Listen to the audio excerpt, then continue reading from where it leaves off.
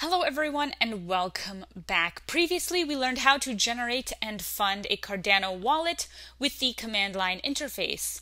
In this section we're going to learn how to run a Cardano node via the command line interface. This means we can clone the blockchain and have it synced up with the real Cardano blockchain so we can perform transactions to the blockchain via our node directly in the command line. First, we need to download the current Cardano blockchain network configuration files for the testnet. For that, we're going to use the following commands, which you can paste in all at once. And remember, you can find all the commands in the source files for this section. Here, we're using the curl command to download from hydra.iohk.io testnet topology.json. This will download a JSON file to your computer. Next, we're downloading from the same location testnet shelley genesis.json, as well as testnet config.json, testnet byron genesis.json, and testnet alonzo genesis.json. These are Genesis blocks for the blockchain, as well as topology or structure for the test networks, test network, and the configuration for the test network. So these are the configuration files that we need if we want to clone the Cardano testnet. So enter in those files and hit enter. This is going to download those files for you to your computer. So you can just copy and paste them and hit enter. You should see the following result. You have your total percentage, percentage received, xFERD, average download speed, average upload speed, the time total, time spent, time left, and current speed. Make sure that when you do run these commands that you're inside of your home directory in the terminal and you're not inside of any project folder because these commands will download the files into whatever folder you're currently at in the terminal. So you want to be in the home directory instead of inside of a project folder. Once you're done, you will now have the configuration files on your computer. Then you can run the Cardano node. So for this, we're going to use the following command, but you will have to modify it for your computer slightly. So this is the command. We're using the Cardano node and the run command, which means we're going to run a Cardano node. We use a backslash to specify a new line. So we're going to enter a new line and then pass in the topology flag.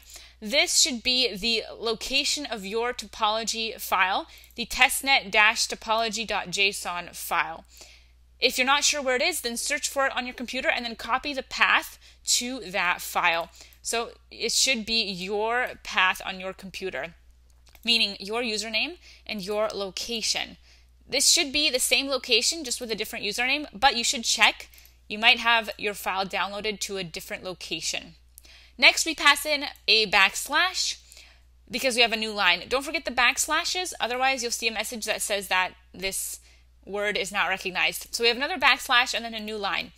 Then we're passing in the database path flag. This should be the path to the DB folder in Cardano node. If you don't have one folder, then just pass in the following location. This is your home folder slash your username. So users slash Alex. That is that can be replaced with the squiggly line. Then we have Cardano dash node slash relay slash DB. Then we have a backward slash for a new line. We're passing in the socket path. This should be the location to your node.socket file on your computer.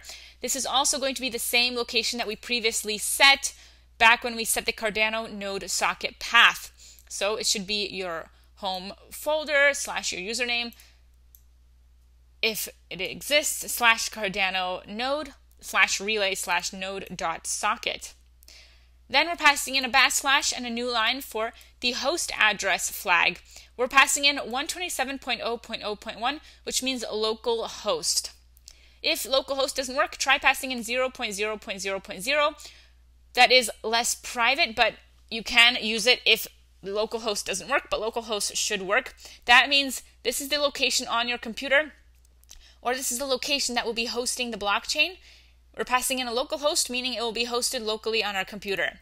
Then we pass in another backslash and another new line. with the port flag. The port that we're using is 3001, a common port for the blockchain, but you can use any open port. If you have another server running or another port, another tool software using this port already, running on this port, then change the port to something like 8000, 8008. You have to use a port that's not being used. Likely 3001 is not used, but sometimes you're using a port, you don't even know it, or you forgot to close a port. So you can change this port number if 3001 is currently taken by some other app on your computer. Then we have another backslash for a new line, and on the new line we have the config flag. Then we pass in the link to our testnet-config.json file. This has to be the location on your computer where you have the testnet-config.json file. So make sure this is the correct path or pass in your path to the file on the computer. Remember, we just downloaded this file, now we're using it. So then you can hit enter. I'm not going to hit enter because I already have my node running, so I can open it in another terminal. So this is what you should get as a result. Do not close this terminal. If you close the terminal, then the node will stop running. You can stop the run at any time that you like, but if you stop the running of the node, then you won't be able to connect to the blockchain. You'll have to reopen the command, re- reopen the node with the command again. So keep this terminal running whenever you want to interact with the blockchain, and you can just open a new tab if you ever want to interact with the terminal again. Just use a new tab. So you can have multiple tabs or windows of the terminal open.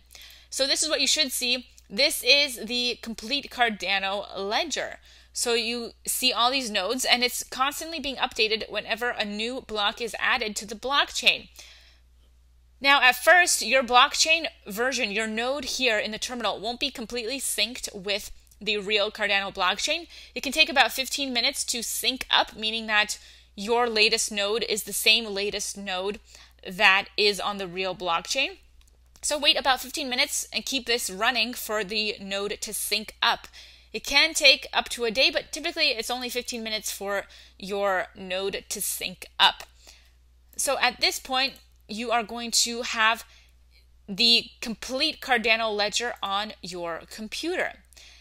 So you want to keep this running so that way you can interact with the Cardano blockchain via your running node. The node is like a connection point to the Cardano blockchain via your terminal. So if you are at this stage, then congratulations, you are able to run a Cardano node. Join me coming up next. We're going to continue working with Cardano blockchain and learn how to export Cardano protocol parameters. So don't miss the next lecture. Hello everyone and welcome back. Previously, we learned how to run a Cardano node via the command line interface. In this lecture, we're going to learn how to export Cardano protocol parameters. So join me in your terminal or command line. Keep the Cardano node running and open a new terminal. Here in our terminal, we first have to make sure that we have our socket path variable set. So you should have done this previously, but just in case I'm going to remind you, you have to have the Cardano node socket path environment variable set. You can use that following command to set the environment variable, and you can check that you have the environment variable with vim and you can inspect your environment variables and make sure that the Cardano node socket path is there. As long as we have that variable, we can export protocol parameters for transaction calculations and save them in a file called protocol.json. So we are going to use the following command in the terminal. And remember, you can copy these commands from the source files at the end of the section. This command is using the Cardano CLI. We're doing a query for protocol parameters. We're passing in the flag of testnet magic, which means we are using the Cardano test network followed by the ID for the test network. We're also going to create a file with the flag out file. The file will be called protocol.json. Hit enter and that will create protocol.json, which you can inspect the folder that you have with dir or ls. And you'll see protocol.json will be added to your folder. Right, you may also have JSON files for your testnet configurations depending on where you installed your JSON files. Now, typically, you should have these on your your home directory, not your folder path. So just be careful where you install these JSON files. All right, so this is going to save your protocol parameters in your protocol.json file. If you get a command failed error, such as this query cannot be used for the Byron era, that means you have to wait until your Cardano node is fully synced. So your Cardano node should still be running, and you have to wait till it fully syncs up. So join me coming up next. We're going to learn how we can check that our Cardano node is fully synced. Hello everyone and welcome back. Previously we learned how to run a Cardano node with the command line interface and how to export Cardano protocol parameters. In this lecture we're going to learn how we can check if our Cardano node is fully synced. Do we have the latest block on the chain. Syncing can take around 15 minutes and up to a day, but typically around 15 minutes. To check that you have the latest node, join me at the Cardano Explorer, which can be accessed at explorer.cardano-testnet.iohkdev.io. Here you can explore the Cardano blockchain. We are specifically on the testnet, but there is another version for mainnet as well. Here, you can search for epochs, blocks, addresses, and transactions. If you scroll down, you can access latest epochs. You have the epoch number, the slot, the blocks, the started at date and time, and the last block date and time.